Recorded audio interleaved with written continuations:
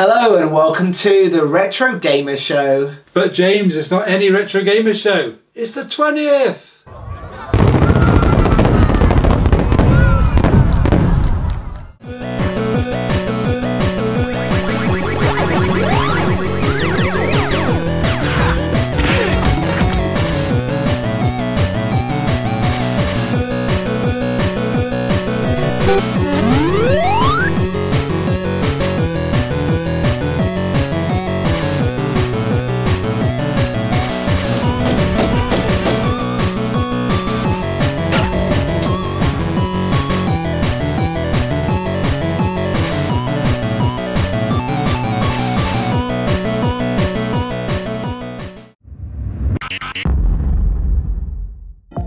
Coming up on this episode of the Retro Gamer Show.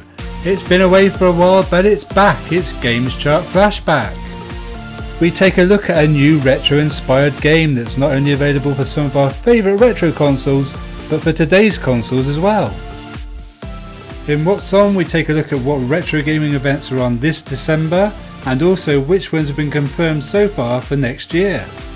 We also tell you what games we've been playing since the last episode.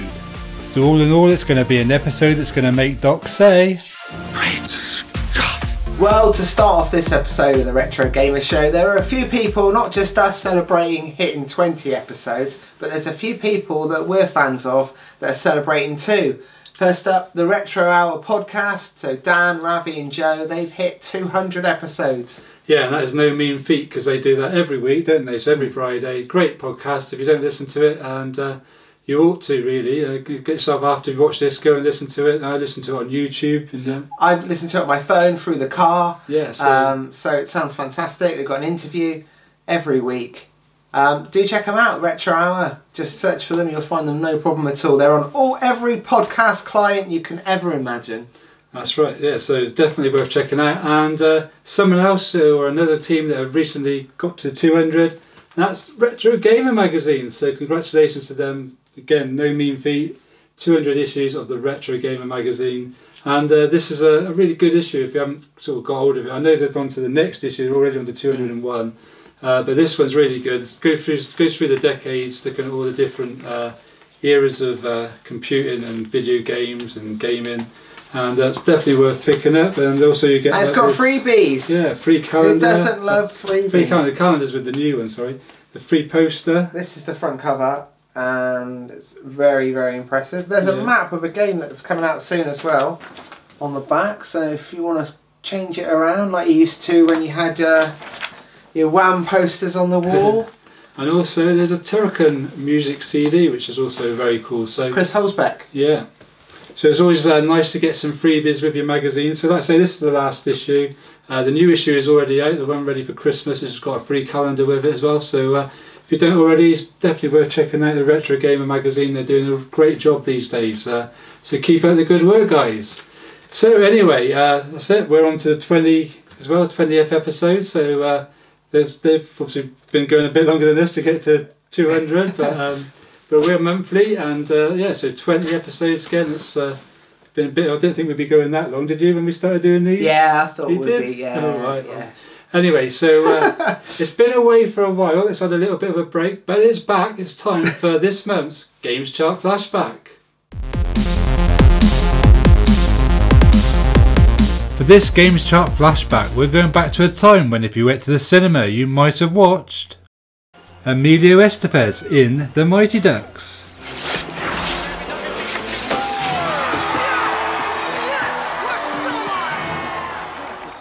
Steven Seagal in Under Siege. I'd watch it right back. We still have a week together. I guess that means I won't get to see you go through puberty. Or maybe Army of Darkness. See this? This is my boomstick. It's a 12 gauge double barreled Remington. S Mart's top of the line. You can find this in the sporting goods department. And this was riding high in the UK singles chart.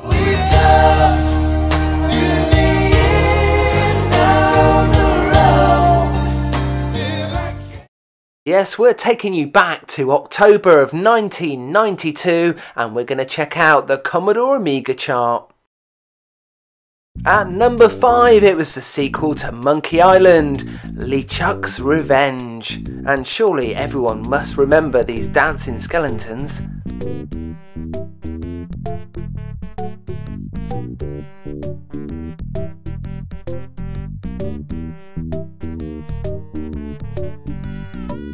Well, if you recognise this tune, leave us a comment and let us know what it's called.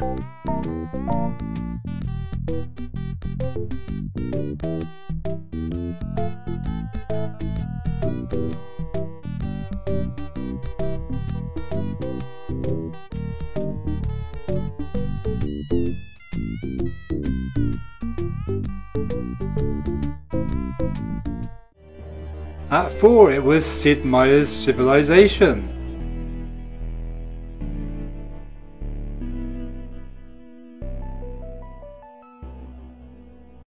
Now this is one of those games that's much better and much more exciting to play than what it is to actually sit and watch. Did you know that in 1999 Sid Meier became the second person to be inducted into the Academy of Interactive Arts and Sciences Hall of Fame? First to receive that honour was Nintendo's Shigeru Miyamoto.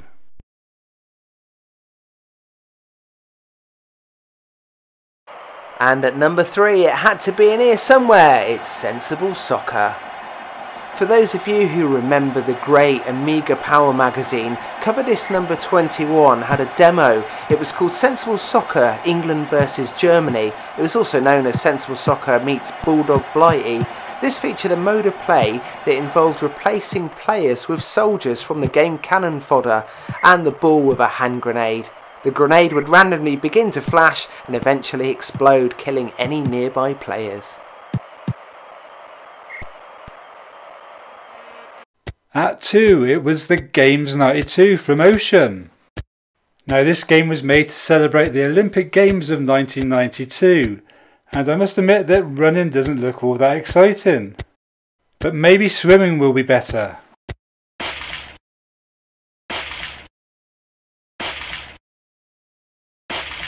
Maybe not. And at number one, it's Eye of the Beholder 2. The game was developed by Westwood Associates, who later went on to do all the Command and Conquer games. The game used a modified version of the first game's engine and it added outdoor areas and greatly increased the amount of interaction the player had with their environment.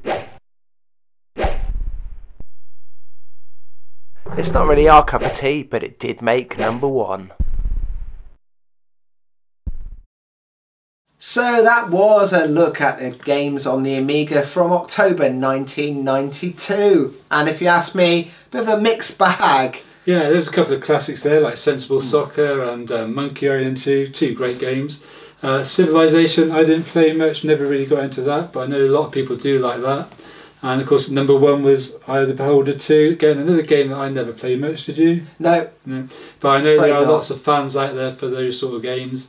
And uh, I don't know what the hell that was though at number two, the uh, Games 92. Espana. yeah. Uh, the, the Spanish Olympics, obviously, that year. And uh, It looked a bit guff. yeah, very slow, wasn't it? I mean, I don't know. There's, there's promotion as well. Normally do quite good titles, don't they? So Maybe it's good. maybe, but I never, I don't remember seeing it back in the day or playing it. No. So anyway, so anyway, moving on, and uh, now everyone's been talking about it. Everyone's been playing it, so we thought we might as well take a look at it ourselves.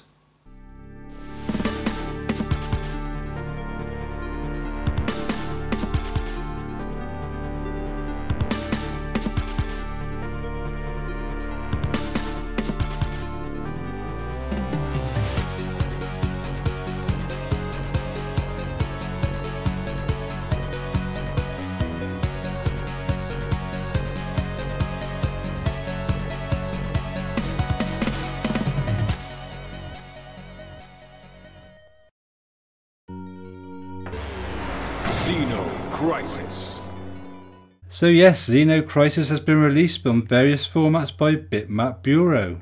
It's available as a download from Steam and the Nintendo Switch store, And on the Bitmap Bureau website, you can buy and download ROMs or even order physical versions for the Sega Mega Drive slash Genesis and the Sega Dreamcast. The closest thing we can think of to compare Xeno Crisis 2 is the classic Smash TV, which hit the arcades and was ported over to our home computers and consoles way back in the early 90s. So as the game's blurb says, Xeno Crisis is an arena shooter that can be played solo or in local co-op mode. You take control of a battle-hardened marine embarking on a deadly mission to confront an alien menace and get home alive. Run and gun your way through thousands of adversaries as you explore the devastated research outpost, searching for survivors and ultimately facing the origin of the outpost's demise.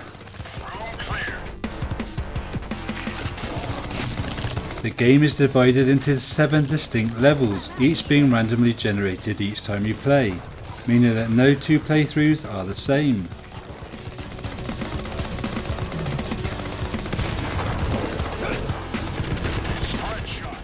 As you play there are several special weapons that you can pick up from time to time, each with their own characteristics. Although your standard issue pulse rifle is perfectly capable of taking on the enemy, other weapons can give you advantages in certain situations, so picking them up is generally advisable. Once you have picked up a special weapon though, it only lasts for a short amount of time, so it's best to get and use it quickly.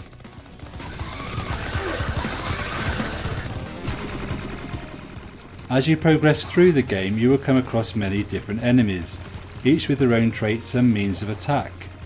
Many of them can be gunned down without too much thought, but others will require you to outflank them or attack them within a certain time window.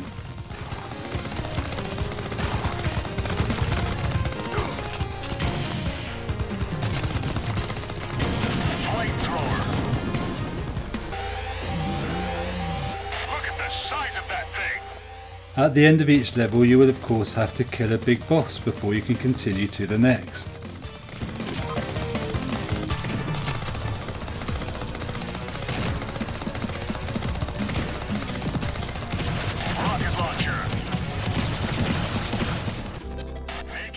In between levels you will be given the chance to exchange any dog tags that you've collected from vanquished enemies for upgrades ranging from extra health to weapon power ups to extra continues.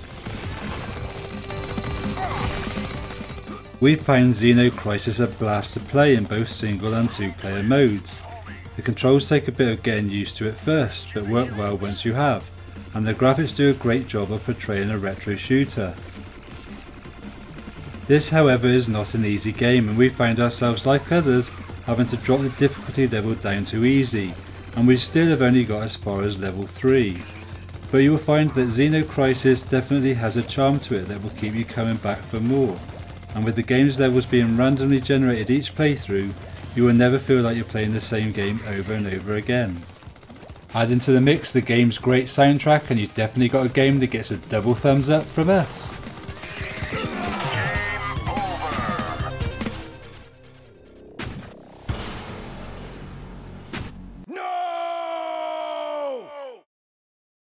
So there you go, Xeno Crisis there, and uh, we've been really enjoying playing that, haven't we? It's been a it's been a blast to play, as we say. Um, yeah, we have hammered that for a couple of hours yeah, the other day. So yeah, we um, got on that, and uh, it's very addictive, isn't it? Mm. You just want to keep going back for more, even though it's it really, really is hard, isn't it? I found it, and I think I said in the sort of like the commentary there that we got to level three, but I've actually since playing on mine got to level four. So. Uh, but like I say, it's uh, not an easy game. First thing you want to do is get the settings down to easy because when you get it, it's on hard.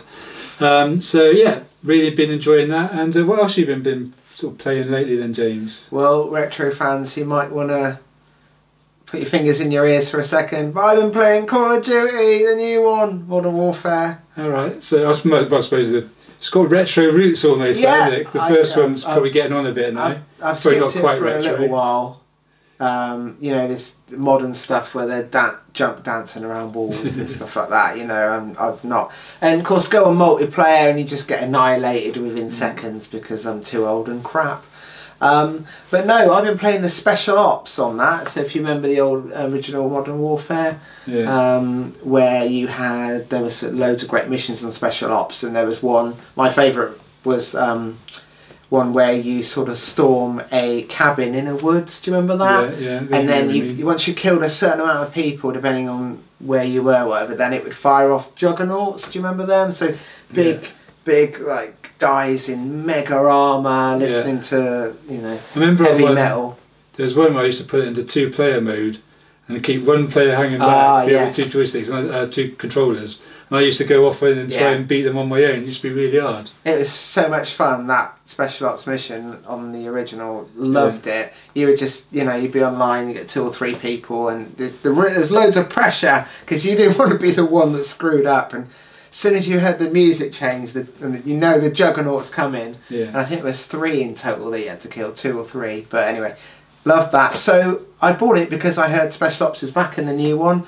So uh, everyone will know, or most people know that follow the modern stuff. It's got a horrific download as soon as you you you uh, put it in. It's something like 70 gig in four parts, and then there was another like five, 10 gig download the other day. So unfortunately, it's horrific when you're installing it. This is on Xbox One. I imagine it's probably similar for PlayStation players, but um, yeah. So don't um, don't plan on playing it the day you get it. So if you know someone that's getting it for Christmas, then you might want to get them to install it first because you know it's going to annoy a lot of people having to wait a day to play. it. I know I got quite quick quite quick internet at home, but I had to leave it overnight. Mm. Is it good though when you actually get Oh playing yeah, it? brilliant. So yeah, Special Ops is back. You can go online and play with uh, three other people, so a team of four. There's um, started off with just four special special ops missions. They've added another two already, um, and they are just as fun. I always find when I'm playing those games, I'm not very good. I always seem to shoot all the way around, Hmm. around the whoever I'm shooting at. So when they move off, there's like a like a sort of outline of them Yeah. on, on the wall. It's just like one of those comedy things. I just uh, so I quite enjoy playing them, but not very good at them. Hmm. Um, and uh, so uh, what have I been playing recently? Well, I've been doing a bit of uh, gaming on the old Vectrex because you know I love that. And uh, but the main thing I've been playing is something I said I wouldn't play. Again, it's sort of modern, but with a retro thing, and that's Mario Kart Tour. On uh, I've been playing it on my iPad, but obviously it's available for all iOS and Android devices. And uh, said I wouldn't play it, didn't want to play it, but uh, I thought it couldn't be any good. Uh, but people at work have been telling me that it's good and it's worth checking out. And uh, one day, in a moment of boredom, You installed it. I decided to download it and give it a go, and I've been addicted to it ever since. Now, as many people know, it's one of those games that wants you to buy yeah, things. oh you know, no, like the buy old, coins. yeah, the old transactions, pay to win. which all that. everybody hates. Um, but I don't find it's like overly. Don't let it- that put you off then. No. You said to me, yeah. Because Yeah, I thought it would put me off, but no, it's, I found so far I've been able to keep going without actually having to spend any sort of money to buy more queens and stuff like that and stars. Um, I mean, it's just like I mean, if you if you want to sort of just like cheating, really, then if you want to cheat and get yourself further on quickly, uh, uh, quicker, well, you've got access to your parents' credit card. yeah, yeah. Um, but yeah, it's, it's quite expensive as well from what I've seen of the pricing on there for buying uh, extra things. But Mm. like I say, so far I've managed to get. I've only been doing like the 50cc just to try Yeah, it out. you've got to and- start gotta with that, start with that, definitely, yeah, yeah. yeah. Uh, I think some people say it's a bit frustrating because obviously you get like um, a certain amount of stars for doing a track. You know, it gives you like a, a rating, it? of, Oh, okay. well you've done enough stars. Um, and to get five stars, and which like to try and get five stars on everything, don't you, when you do Mm. Mario Kart? But apparently you need to have certain cars Oh, and right, okay. certain, and you've got to well, you possibly them you have to win them or buy yeah, them, yeah. So, So, they make it, yeah. yeah, so it makes it harder to get five stars and everything. But to keep going through the levels and playing the different circuits, sort of thing, I've not found it Mm. particularly hard to do um, without actually spending any money. So, Mm. and uh, so so far I've been really enjoying it. We were just So- playing it a minute ago. Yeah, yeah, I was Um, showing you, wasn't I? Koopa Yeah. Beach. uh, It's Yeah, great. yeah, it's got lots of great graphics. Uh, of course, a lot of the uh, circuits you'll recognise Mm. because they're from like the N64, the SNES and the NES. Um, uh, yeah, they've done a good job. And it's the, the tracks. It's only like you do. It's, well, the tracks going to be a little bit shorter than the actual tracks on other consoles. So, uh, and it's only two laps as well. So they're trying to sort of keep it that you can just play it on the go and don't have to be sort of like stuck doing like a so many sort of eight laps or something or other Mm. Yeah. when your train's got in and 20 you get off. Yeah, you just Rainbow Road or something. yeah, maybe it takes like a few minutes to do a, a race. So yeah, so yeah, if you've not checked out yet, um, the, the sort of microtransactions bit has been putting you off, and Mm. Don't let it put you off. Yeah, don't. Yeah, yeah. Give it a go. And the controls uh, are right, aren't they? yeah, the controls Got are like an arrow that kind of dictates where you. Yeah, you just you just sort of like slide left to right where you, you can do like your um, what they call it when you're skidding um, drift. Oh, you, do, sliding. you do like your drifts around the mm. corners and stuff by holding sort of like left as you go, and it gives you like a little speed boost. Um, and also on the start line, if you hold down, press down on the screen when you get to like two Oh, you the can do countdown, you do speed boost as Yeah. well. Oh, cool. Um, and it's just it accelerates for you, so you don't have to do any accelerating. It's just a matter of like going left or Mm. right.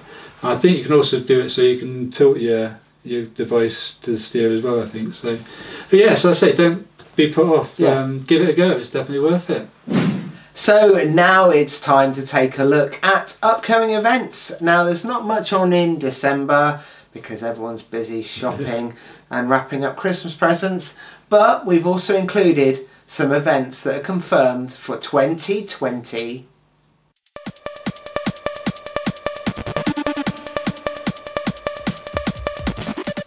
So this month we've got a couple of events to tell you about for December and then we're going to be telling you what's been confirmed so far for next year. So first up this December we've got an event that's being held for you in Walsall. This is a retro gaming night at the Victoria, Lower Russell Street in Walsall and it's being held on the 2nd of December. Starts at 8 o'clock, finishes at 11 and you can get more information on this event by going to www.retrogamingnight.co.uk. Now, next up, we've got a place that I cannot wait to go to. It's the Centre for Computing History in Cambridge. They're having a retro gaming night, but it's the Christmas edition, and it's going to be held on Friday, the 6th of December from 6 until 11. To find out more info, get over to the computinghistory.org.uk website. Right, so that's it for December and this year. So we're moving on to 2020 and we're going to take a look at what events we know have been confirmed so far. First up, it's a swag meet. Yes, we like to go along to the Southwest Amiga Group meets, and there's two been confirmed so far for next year. That's one on the 25th of January and one on the 30th of May. More information on these swag meets will no doubt be released very soon, so keep checking the swag website and Facebook group for more information. Now, if you're a fan of roundabouts, you're like Milton Keynes, and guess what? They've got a gaming market and it's going to be held on Saturday, the 8th of February at the Stantonbury Leisure Centre. So far for next year, three Play Expo events have been confirmed. The first being in Margate, then this being held on the 21st to the 23rd of February at the Margate Winter Gardens. But if you can't make it to Margate, there's Manchester on the 9th and 10th of May. That's the bank holiday weekend. And just in case Manchester's not far enough north for you, Play Expo Glasgow has also been confirmed. Once again, it's being held at the Braehead Arena on the 13th and 14th of June. Now, Revival is back, but instead of one big bash, it's going to be split into two slightly smaller ones. The first part is held over the 7th and the 8th of March, and part 2 will be on the 7th and the 8th of November. The organiser Craig has been in touch, and tickets for the first part are going to be available early December. So it's already looking like 2020 is going to be a bumper year for retro events, and we say keep them coming. Yeah, definitely. Looks like it's going to be another great year. And uh, I know we said in uh, this month's What's On that the revival tickets for the first revival event of next year are going to be on sale during the first week of December, but I can actually confirm that they are on sale now. So if you want to get yourself along to the first revival event of next year, then go along and check out their website now. Anyway, that really is about it for this month's show, isn't it, James? And uh, we'd like to say thanks to all the new subscribers, to all of you that still continue to support the show and the channel. We really appreciate it. And of course, as always, if you commented on last month's show, your name will be scrolling across the bottom of the screen right now. Anyway, so that's it. Like I say, we'll see you again next month. But James, until then, what they got to do? Keep it retro, everyone. Yeah, well done to them. I obviously enjoy listening to that. I listen to it on YouTube. How do you listen to it? Oh, all the all the car, all the car. All the car. All the car. Couldn't be easier. Yes, it's always on all your favourite podcasts, sort of, uh, what do they call them? Podcast. What do they call them? Podcasts.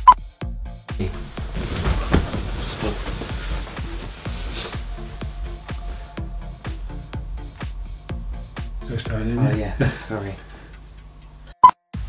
Yeah, it's looking like it's going to be another busy year on the retro gaming scene.